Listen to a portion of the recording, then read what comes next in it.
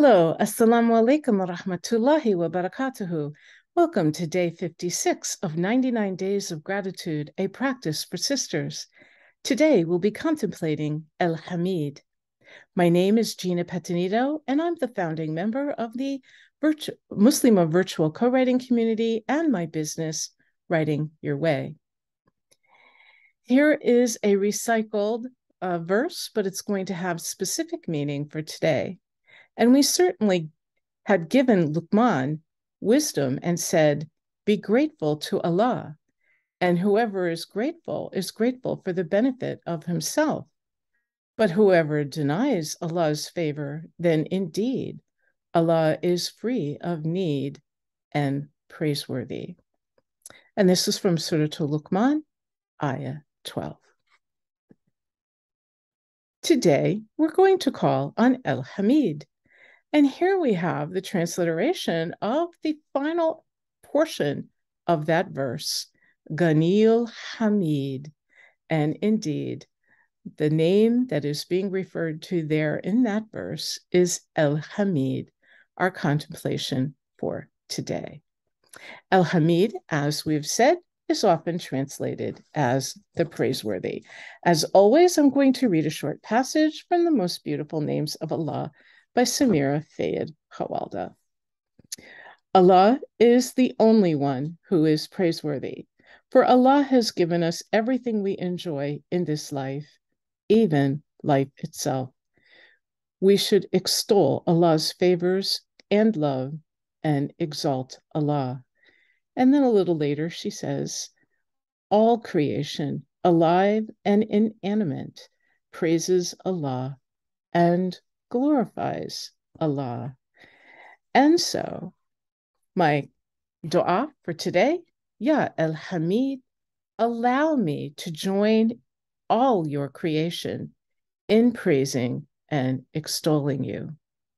Now, when we look at this verse, the, the last portion of the verse, we notice that there are two names that are being referenced together El Ghani and El Hamid.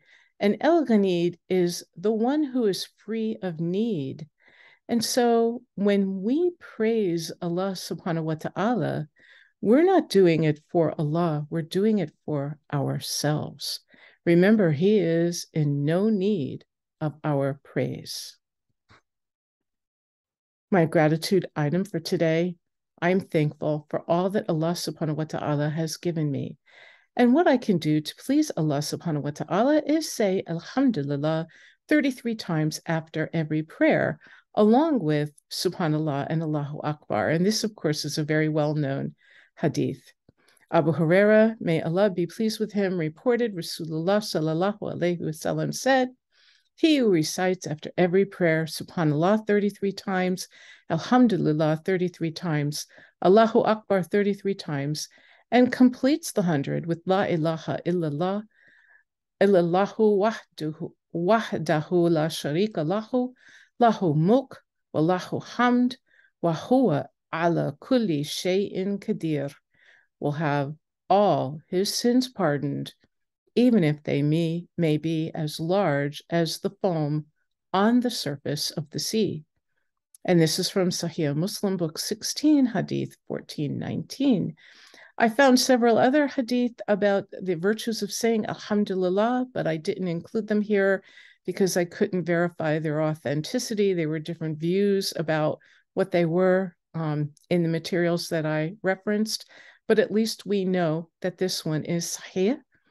And I'm sure that you can say Alhamdulillah many other times other than right after Salah.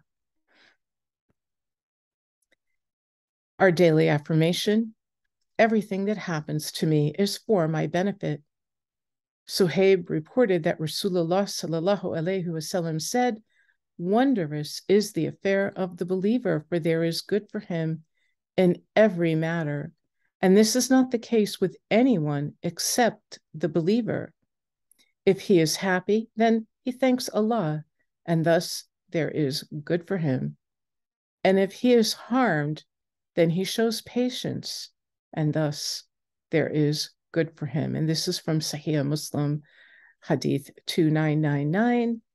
And many of us say Alhamdulillah in any case. And so this is uh, one of the things, one of the hadith that illustrate how important it is for us to say Alhamdulillah in any case. Jazakumullah khair for spending this short period of time with me, for Sister Kate Hepburn finding Sakina, who influenced this practice and encouraged me to keep going, for Sister Samira Fayyad Khawaldeh for writing her beautiful book, which is available in paperback if you just click on the link below this video. A shout out to the wonderful artists and photographers used in this presentation. Assalamu alaikum wa rahmatullahi wa barakatuhu. See you on day 57.